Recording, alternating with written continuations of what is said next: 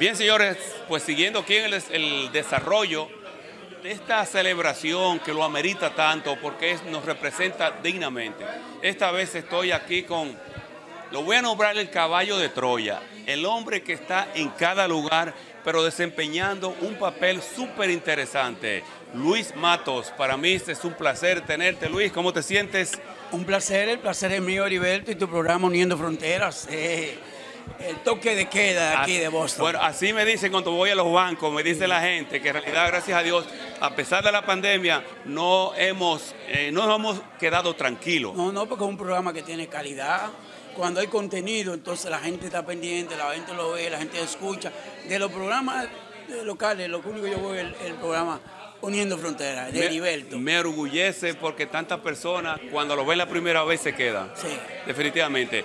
Te felicito a ti y a toda esta institución por celebrar un año más, 18 aniversario de esta institución tan prestigiosa. ¿Cómo te sientes el tú pertenecer a esta organización? Fuiste uno de los que inició esta, este proyecto, ¿no? Correcto. Háblame un poco de esa trayectoria, 18 años hacia acá.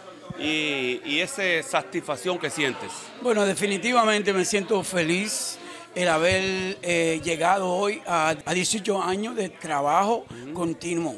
Eh, yo fui uno de los fundadores de esta institución, el primer presidente de Alco y yo me siento orgulloso que esa tarea que hicimos iniciar hoy se ha notado que ha ido germinando, ha ido creciendo y ha calado en la comunidad. Ahora mismo, Fundo Arco es la institución de la que la gente de esta comunidad más cree, es la organización de mayor prestigio y eso a mí me tiene como a los demás eh, con mucho eh, orgullo de ser parte de esta institución comunitaria. Bueno, nosotros desde eh, que iniciamos nos trazamos líneas coordenadas para trabajar y hemos ido trabajando en función de esas necesidades que tiene la comunidad y sobre todo en función del momento que la comunidad demanda.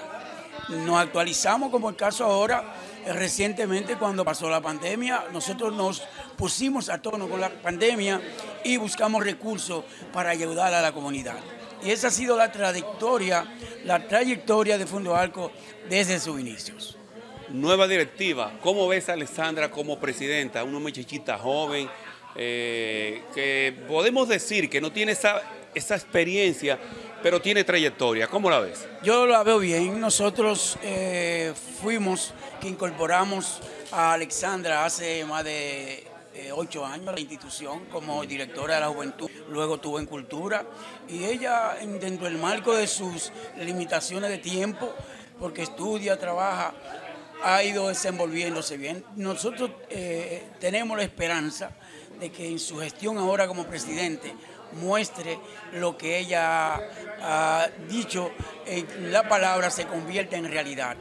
Estamos confiados que con el equipo que tenemos, con tanta experiencia, ella pueda hacer un trabajo. Tenemos la confianza porque Fondo Arco trabaja en equipo.